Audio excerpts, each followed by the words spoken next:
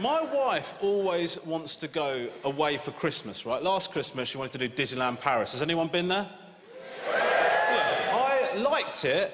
I found it difficult to engage with it fully because it was so expensive. It's very difficult to fully enjoy it when you know how much you've paid to get your family in there. Like my kids were walking around just like all the visions of Christmassy Disney, and I just had, in my eyes, the invoice. Do you know I mean? I was just. For me, Disneyland Paris is basically like a three day angry walk. Do you know I mean? Just wandering around, going, fuck off, Donald. Do you know, just, just furious, so angry. It's the first time I really thought about learning another language, right? Because they all speak French, obviously. We're in France. I'm not so post Brexit that they can't speak their own language in their own country. But I'm a very paranoid dude. We're queuing up for the Tower of Terror with my eldest son. Just about to get on the ride. The guy behind the counter turns to his mate and goes, I was thinking, what the shit did that dude just say, man?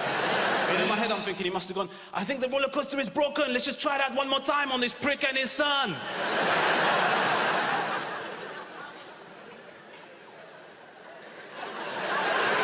He probably just said, I fancy a sandwich. I, I don't know, but I'm very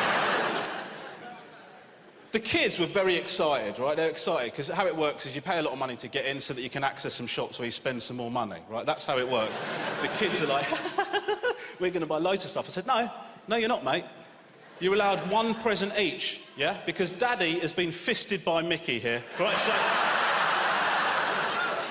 You get one present each, all right? No messing about. The little one, but the thing is, I actually made an extra saving because I've got a seven year old, a five year old, and a two year old. The two year old doesn't know what's going on, so sack him off. Jimmy, I, I, just gave him, I just gave him a croissant we got free at the hotel. There you go,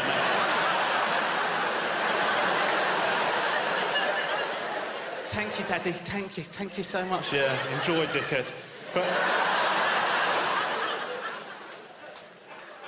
the eldest one, he chose. Uh, he chose a Jedi cloak with Mickey. He's into Star Wars. I mean, not properly, he doesn't know the mythology properly, but he, he is into Star Wars, right? He chose a Jedi cloak with Mickey ears on it, right? Now immediately I can feel tension in here. he was wearing it around the house. One of my mates went, it's disgusting. It's disgusting. It's exactly why I didn't want them taking over Star Wars, because of things like this. I was thinking, what is your problem, dude? What are you concerned about? Are you worried that Star Wars is going to become commercial? Do you know I mean? Were you watching Jar Jar Binks and thinking, nah, this is still cutting edge? And it was the Mickey ears that pushed you over? Was it really? My, my second son, he chose, uh, he chose a, a radio controlled car. Fine.